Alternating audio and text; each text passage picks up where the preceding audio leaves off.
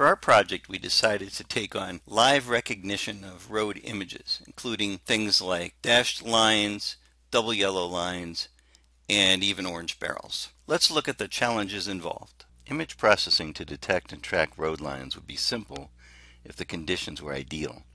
However, typical road line data actually looks more like the image on the right with constant variations in lighting and consistency. The human vision system is capable of ignoring these variations and interpreting these images under a variety of conditions.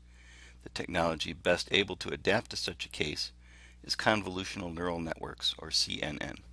The effectiveness of CNNs has been proven in computer vision challenges, and our implementation strategy is to build upon some of the existing work done on the Jetson platform, use Google TensorRT to construct the CNN for a general vision application called DetectNet, and finally, build our own training database with custom training tools, and subsequently train our CNN using a tool called Digits.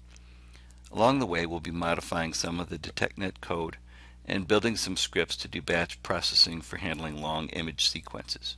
This is the source video we elected to use after a couple of failed attempts with the video in the car. This next section is what we'll use for our double yellow line and our dashed line video and you can see that the dashed lines are, are kind of rough, not painted real well. The contrast isn't real sharp.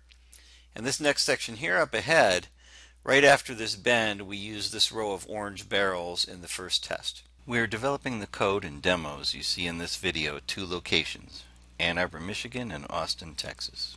Hi, I'm David and this is the Ann Arbor lab. Um, we weren't able to get the DIGITS to run on the host machine, so we ended up using um, 2 gigabyte laptop GPU to do all the training. Thanks for watching. Hi, I'm, I'm Frank Raffaelli. Welcome to the Austin Video Lab. This is Coco, is my buddy, and he's going to help me uh, point to all the objects here. Uh, so first of all, we have the Jetson TX2, which is um, basically uh, it's basically a development console for um, vi visual AI. This is the host machine for downloading onto the Jetson. And then this is the, the Jetson control console here with some of the images that we're processing. And over here is the, um, the, the truthing and object detection table. We've got our objects, the, uh, the sheep or dog, however gets recognized, the Granny Smith apple, the dolphin, and the orange. And we use these objects to, uh, when we're doing the startup for the Jetson to make sure that everything is working. Next, we're going to zoom in on the features of the Jetson TX2 development system. Included are HDMI, USB, and wireless, and also a built-in camera, which we're going to demonstrate in the next clip. We're here in the Austin Video Lab to do a live demo of DetectNet on the Jetson. This is a Jetson TX2, and we've got it set up to detect dogs. It's using the uh, Coco Dog preload uh, online. Now, it, it's, sorry, the the stuffed toys that are featured in this demo are uh, Coco uh, here on the stick and uh, the sheepdog. So I will notice that the camera on the Jetson is upside down and sometimes it mistakes my hand or my head as a dog. In the panel you see in the lower right corner, the camera on the Jetson's upside down and what you're seeing in the lower right hand corner is the um, the display and uh, it shows the number of bounding boxes in the image as well as the location and uh, the bounding boxes is the blue surrounding the dog is very uh, apparent and uh, so it's set pretty sensitive because it's detecting my hand but if a dog is the only thing in the image it doesn't do a bad job at tracking the dog and go forwards uh, up and down as long as it's on a neutral background seems to work better and also uh, larger and smaller. And this is uh, exactly the same trick we're hoping to use uh, to detect bounding boxes around segments of road lines and uh, to, so to detect several bounding boxes in the image and to join them together.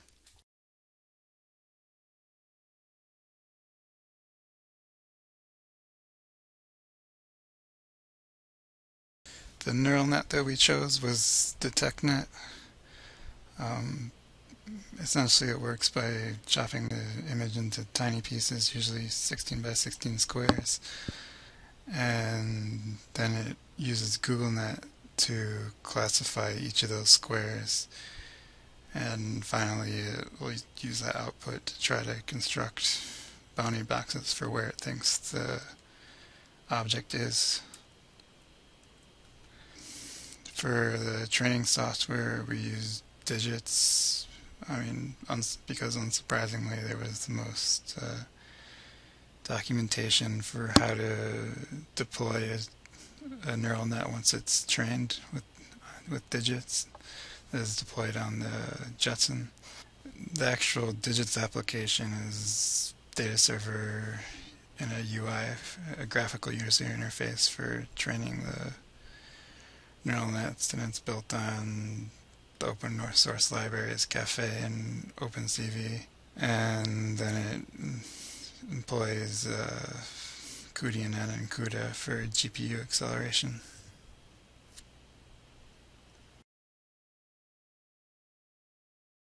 So to illustrate the DetectNet neural net, we're using the DIGITS feature where you can just test one image to see how the neural net model is doing. We'll give you the bounding box that it sort of found there and then it gives you the output of each of the neural net layers. It starts with the raw data, then it transforms it to the right dimensions, then it enters GoogLeNet, got convolution layer, you can sort of see the line on one of those. More convolution layers and pools, max pools. Eventually it gets to the inception layers, which is the majority of GoogLeNet depth-wise. Plus it's uh, has to go through all five pieces of it. So there's just a whole bunch of inception layers. Then there's a classifier, and it spits out a bunch of maps that the DetectNet has to use to reconstruct the bounding box that we saw at the beginning.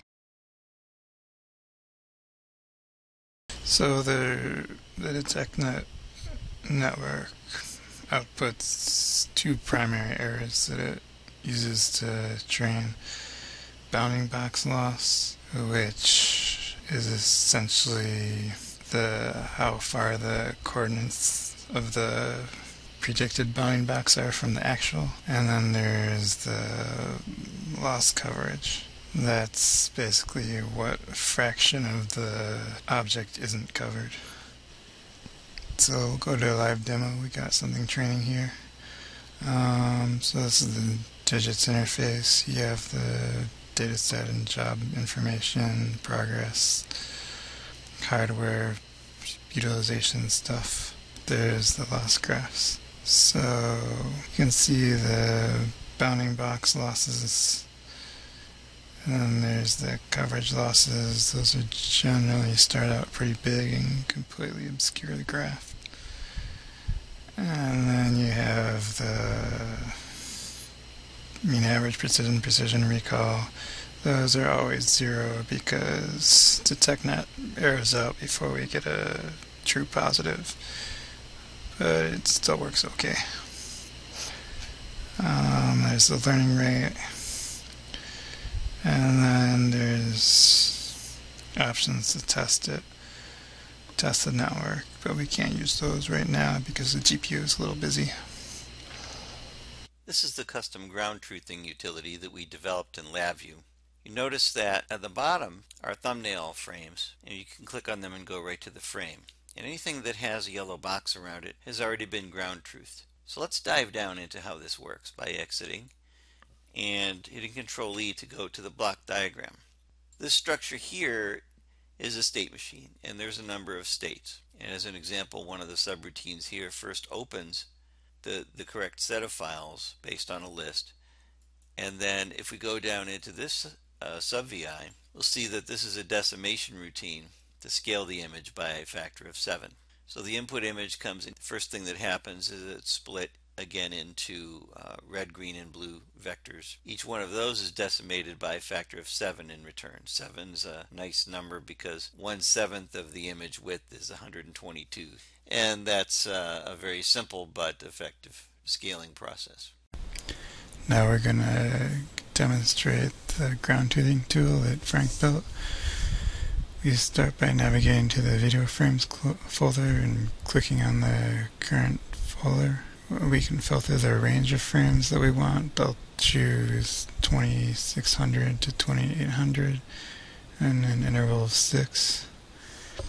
Now we can scroll through the frames in this range. The frames in yellow are already labeled, so we'll select the next one. The next step is to choose the type of object that we want to identify. We're going to go with barrel.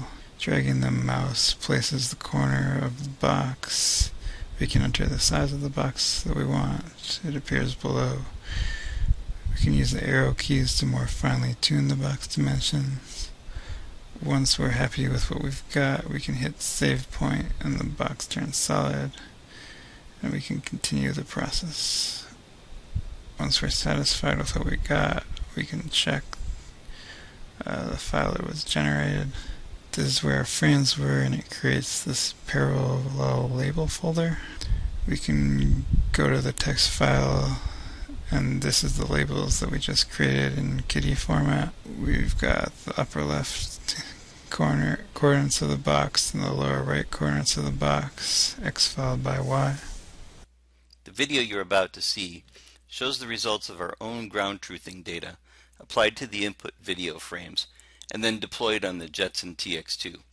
It's important to note that orange, where orange barrels don't exist, they're not detected. Let's go ahead and watch the video. At the beginning there's no barrels and then we'll notice that it's detecting the barrels and sometimes more than one at a time. It's seeing the barrels that are closer a, a lot easier than the barrels that are further away. Now that the ground truthing data has ended, we'll see if it still detects barrels. And it does. Well, I've really been looking forward to getting results of the dashed white line tests and data and to see the images live.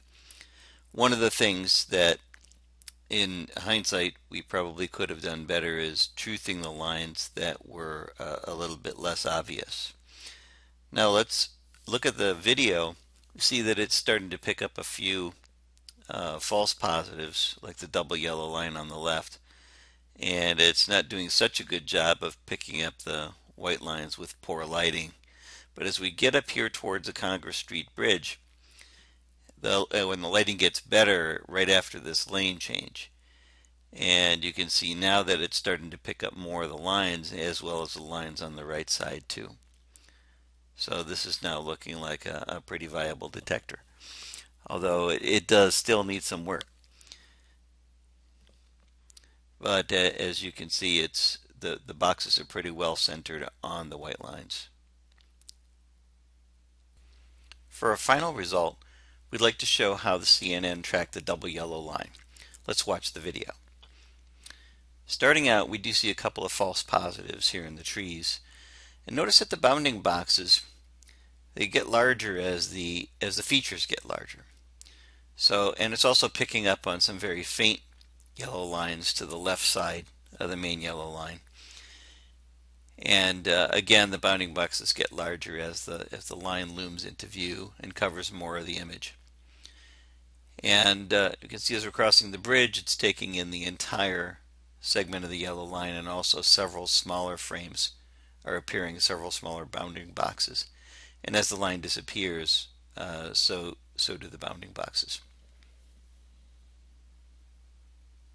One of the things that we discovered from this project is that the DetectNet is able to find lines and construction barrels pretty easily. This simplifies the solution because we can use essentially the same approach to detect any object that we need to find, and the neural net handles much of the nuances specific to each object. Going forward, one thing that we could do is gather a whole lot more data in order to allow the neural net to generalize better. Also, we could could fit lane bounding functions to the bounding box locations in order to provide features like lane assist.